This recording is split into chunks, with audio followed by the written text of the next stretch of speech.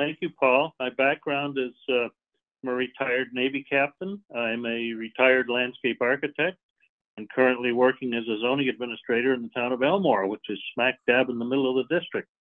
Um, over the years, I've spent uh, a lot of hours in committee work with uh, was one of the founding directors of the Stowe Land Trust. I've been on the Regional Planning Commission. I've been uh, on the Stowe Rescue Squad.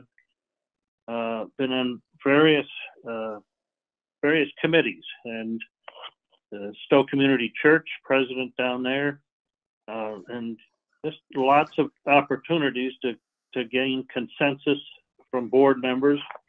Um, I would like to represent this district in Montpelier, specifically for the main purpose of, of trying to control the uncontrolled spending that's going on down there.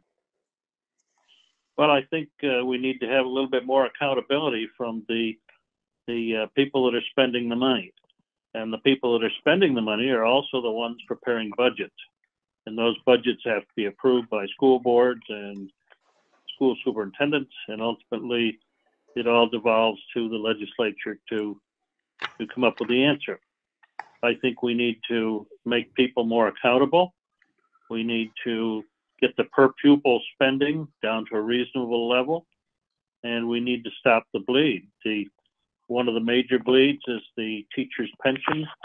Um, it needs to be funded, uh, but it also needs to be uh, paid for on a yearly basis so that we don't get into huge deficits uh, on the pension issue. Well, I think uh, I've been involved in the planning and permitting end of uh, housing for many, many years and find that the permitting is is uh, quite a quite a holdup. Now, you can't blame it all on Act 250. I think a lot of it has to do with zoning, starting right at the local level, uh, the legislature in the past year or so uh, created uh, zoning opportunities to allow for increased density in, in villages that have sewer and water. And I think we have to make it easier for uh, people to create housing in those areas.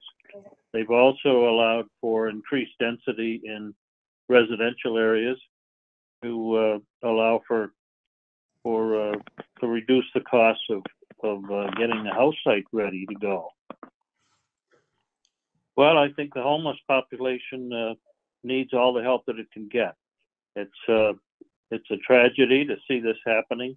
Uh, I've been to several churches where they serve breakfasts and and I get to see a lot of homeless people.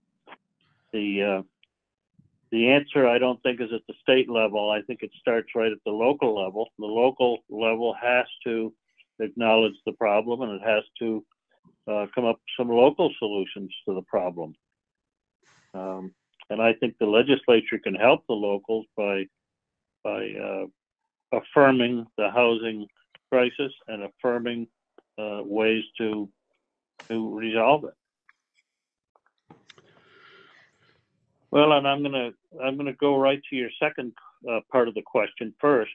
Uh, I believe that every vehicle that uses the highways uh, should be paying their fair share. Uh, we hear Bernie Sanders talk about fair share. Well, we can bring that back to the local level. I think uh, electric vehicles need to pay just as much as gasoline vehicles do. The gas vehicles uh, pay for it through the gasoline tax. Uh, and also, all those trucks you see on the highway have a significant impact with with excise taxes. Uh, thousands and thousands of dollars every year for every truck you see on the roads. Uh, those trucks are are making their contributions to highways. So we need to get the electric vehicles uh, in into the formula somehow. I work uh, closely with the highway departments here in Elmore and uh, they have been making significant strides along with the state of Vermont in improving bridges and uh, having a whole uh, program to replace culverts. And every time culverts are replaced, they review the uh, sizing and to make sure that the engineering aspects of the culverts are, are tended to. Um, they're also working very closely with a lot of the uh, the uh, conservation districts on stormwater uh, attenuation matters. It's, uh, I can see it right here every day in Elmore, uh, at Lake Elmore, reducing the um, sedimentation going into the lake, and I think that's going on along the Lamoille River and also the Little River and also over in the uh, Woodbury and Worcester areas on the North Branch. I'm still at the stage of listening to both sides of the argument. And uh, I think that it's very personable with a lot of people. Um, it's a very personable issue. Uh, I don't think either side has has a majority of the opinions, and I think it's a continuing discussion. Um, I have religious uh, beliefs, uh, which I follow, and I'd also like uh, to listen to and respect other opinions. Well, I think uh, my background in planning and being in committee work has always been to reach consensus of some kind. Uh, and we see this every day in, in development projects, either whether it be commercial, industrial, residential. Uh, everybody in the room has to speak up and has to be part of the solution. And I don't think that the legislature is working together very well.